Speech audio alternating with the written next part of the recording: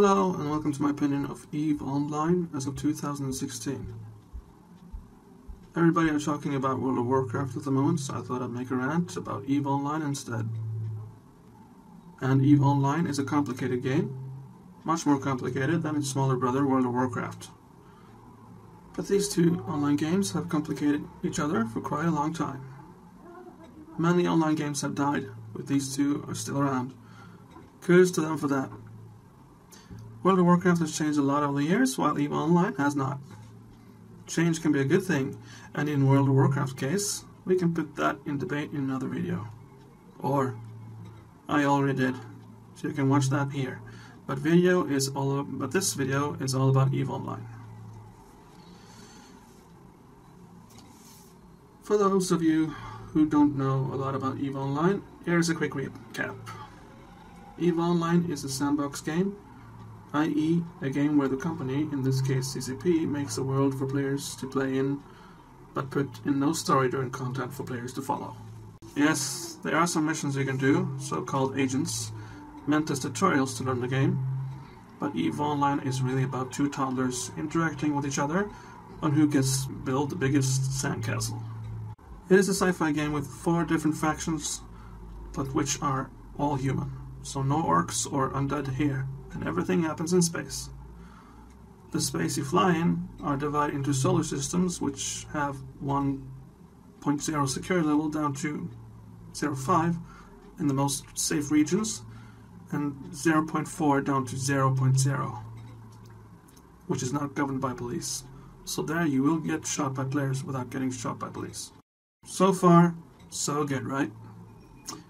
You can build ships, structures, and gadgets, which you in turn can use to destroy other players' ships, structures, and gadgets. CCP makes profit out of your time in EVE Online by you buying money if your neighbor toddler has destroyed too much of your sandcastle, or spending time earning money for new stuff for your sandcastle. Because the more time you spend in EVE Online, the more months you'll be paying for. So yes, EVE Online costs each month, just as World of Warcraft does. Okay, so I meant to make this short, but this is EVE Online in a nutshell. If you want more info on the game, just do a search for EVE Online on YouTube. You should find a lot of trailers, which should be plenty to get you drawn in. Bear in mind, though, that the trailers bring out the potential in this game, and there is a 1 to 10,000 chance that the awesomeness you saw in the trailer will actually happen to you.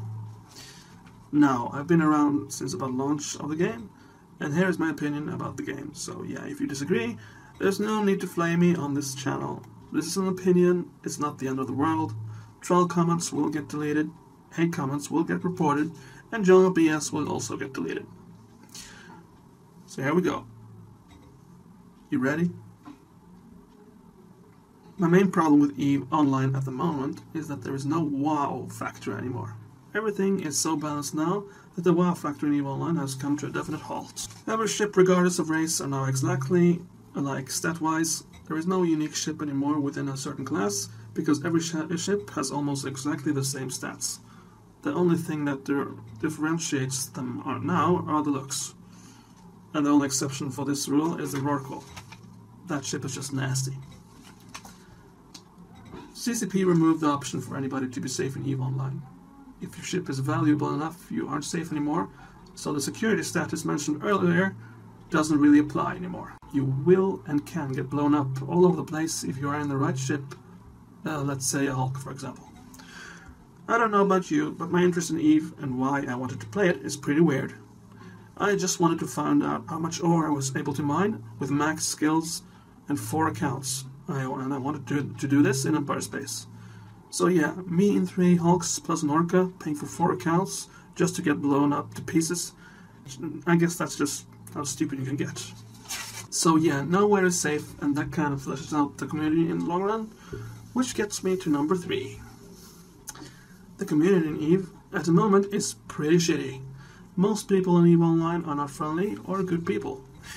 It may be that they are okay people in real life and that EVE Online just gets out the most shitty part of them, but there you go. Shock. The community in EVE Online is par 2016 as shitty of a cesspool as you can get in any online game at the moment.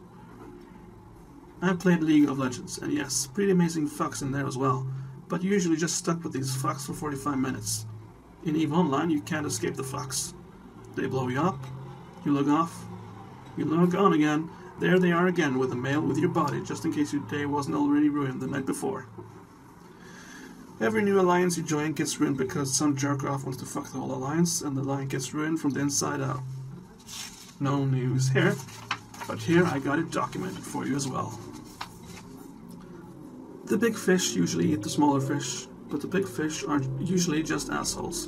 And guess what? There are no small fish left in EVE anymore. Sorry, but that's a fact. EVE Online hasn't changed at all since launch. All the big changes that were promised were never really explored further. No walking in stations, no walking on planets. I was really looking forward to leaving my ship and get into some bar fights with my character and some other ding dong.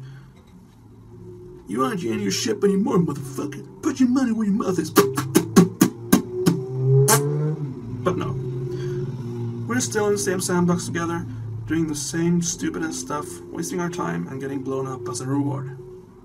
Great.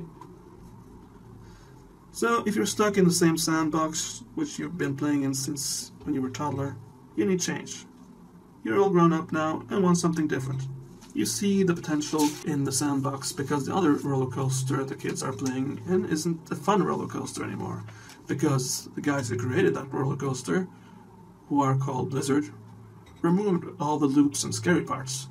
So you are left with a sandbox you've been playing since toddler and you see all these new toddlers getting in on sand and feeling the sand out. And you just want to tell them, get the fuck out. Get the fuck out, man. You'll get eaten alive. Get the hell out of here.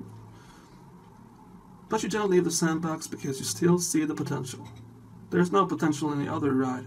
So you stick to your guns, sit put in your little zone of sand.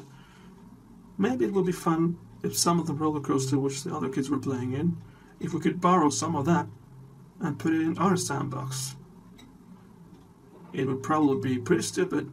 It would probably feel totally different. But sometimes a grown up toddler needs to taste a new kind of stupid.